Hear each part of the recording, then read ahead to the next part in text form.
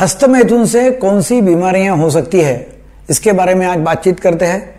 मेरा नाम है डॉक्टर दीपक केड़कर मैं मनोविकार, सेक्स रोग, सम्मोहन तथा व्यसन मुक्ति तज्ञ हूँ। महाराष्ट्र में मुंबई और अकोला यहाँ प्रैक्टिस करता हूँ। हस्तमैथुन मतलब मास्टरबेशन। इससे कोई भी वैसी बीमारी होती नहीं है। ना शारीरिक बीमारी होती है, ना मानसिक बीमारी होती है। मगर वो करने की जो प्रक्रिया है, उससे कोई शारीरिक बीमारी हो सकती है।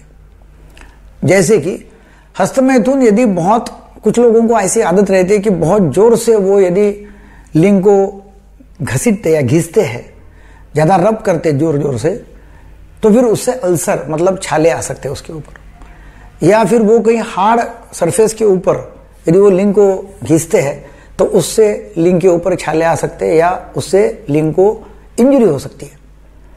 तो वो फ़िज़िकल बीमारी है। हस्तमैथुन से कोई फ़िज़िकल बीमारी होती नहीं है। हस्तमैथुन से ना ब्लड प्रेशर बढ़ता है ना कोई डायबिटीज़ होता है, ना कमज़ोरी आती है। शारीरिक कमज़ोरी हस्तमैथुन से आती नहीं है। हस्तमैथुन से लिंग का आकार छोटा होता नहीं है। हस्तमैथुन से आदमी कमज़ोर होता नहीं है। हस्तमैथुन से आगे ज़िंदगी में कुछ भी तकलीफ़ होती नहीं है। मगर लिंग को जख्म हो सकती है। बहुत ज़्यादा बार हस्तमैथुन करते हैं तो रबिंग के कारण मतलब घिसने के कारण। फिर अभी सवाल आता है कि मानसिक बीमारियाँ हो सकती है क्या?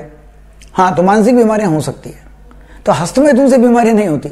हस्तमैथुन के बारे में जो लोगों को गलत फहमियाँ हैं, उससे होती है।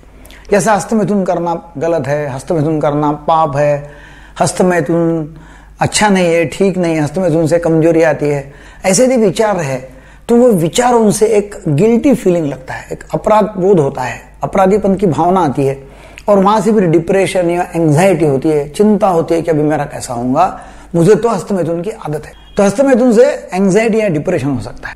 हस्तमैथुन से ना लिंग छोटा होता है, ना बड़ा होता है। हस्तमैथुन से कोई फ़िज़िकल बीमारी होती नहीं, मैं फिर से दोहरा दोहरा रहा हूँ।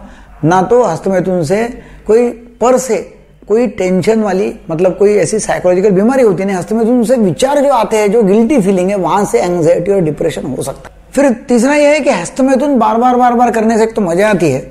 वहाँ से फिर एक ओसीडी नाम का जो बीमारी है, वो हो सकती है। मतलब ऑप्सेशन उसके बारे में ऑप्सेशन पैदा हो सकता है। बार बार बार बार करने की इच्छा होना या बार बार बार बार करने के विचार आना, वहाँ से ऑप्सेशन तैयार हो सकता है। हस्तमैथुन से कोई नपुंसकता आती है क्या? या लिंग में कमज़ोरी? हस्तमैथुन से लिंग में कमज़ोरी आती क्या? बिल्कुल नहीं। हस्तमैथुन से इरेक्टाइल डिस्फंक्शन मतलब नपुंसकत्व या साइकोजेनिक इंपोर्टेंस आता नहीं है। फिर लोग पूछते हैं, हस्तमैथुन से शीघ्र पतन होता है क्या? वैसी कोई भी स्टडीज़ नहीं है कि हस्तमैथुन से शीघ्र पतन होता है, ऐसा कुछ भी नहीं। मगर हस्तमैथुन यदि आप ज़्यादा करते हैं और हस्तमैथुन के करने में बहुत जल्दी जल्दी यदि वीर्य का पतन करवाते हैं या करते हैं तो क्या होता है, एक लिंग को आदत जैसी हो जाती है। बार बार हस्तमैथुन करना और बार बार बार बार जल्दी जल्दी रब करना, जल्दी जल्दी घिसना और वहाँ से जल्दी पतन करना एक लिंग को आदत जैसी यदि हो गई तो फिर हस्तमैथुन से प्री मैचर इजैकुलेशन हो सकता है, क्योंकि वो आदत की वजह से हस्तमैथुन से नहीं है। आप यदि हस्तमैथुन आराम आराम से करते, शांति से करते तो हस्तमैथुन से भी प्री मैचर इजैकुलेशन होता नहीं। तो इन शॉर्ट मुझे फिर से बताना चाहता हूँ कि हस्तमैथुन से जख्म हो सकती है। लिंग का आकार छोटा या बड़ा या कमज़ोरी फ़िज़िकल कमज़ोरी, शारीरिक कमतरता मतलब कमज़ोरी ऐसी आती नहीं है। नंबर नंबर दो, हस्तमैथुन से एंग्जाइटी आ सकती है डिप्रेशन आ सकता है, एक टेंशन तान तनाव आ सकता है। हस्तमैथुन से इरेक्टाइल डिस्फंक्शन मतलब नपुंसकत्व आता नहीं है। हाँ हस्तमैथुन से प्री मैच रिजैकुलेशन हो सकता है, क्योंकि वो आदत जो करने की है वो आदत से हो सकता है। अदरवाइज़ हस्तमैथुन से कुछ भी होता नहीं है वीरपतन से कुछ भी होता नहीं है। बिल्कुल ध्यान में रखिएगा और हस्तमैथुन कोई खराब चीज़ नहीं है। ये वीडियो आपको अच्छा लगा तो ज़रूर, जब भी सभी एडोलेसेंट लोग जो है, जो 14-15 साल के उम्र में पुरुष बन जाते हैं 14-15 साल में पुरुष बन जाते हैं, वहाँ से लेके शादी होने तक। ये जो एज ग्रुप है, समझो 15 साल से लेके फिर शादी समझो उसकी होती है अट्ठाईस, उनतीस, बत्तीस तक। तो ये ग्रुप को, ये सभी ग्रुप को ये प्रॉब्लम है। मास्टरबेशन के बारे में गलत फहमी है तो उनको ज़रूर वीडियो शेयर करो, ताकि उनको गलत फहमी दूर होंगी और वो अच्छा जीवन जी सकेंगे। हमारा जो संकल्प है, वो सबके लिए मानसिक स्वास्थ्य और व्यसन मुक्त भारत। इसमें आप भी हमारे पार्टनर बन जाइए। Thank you very much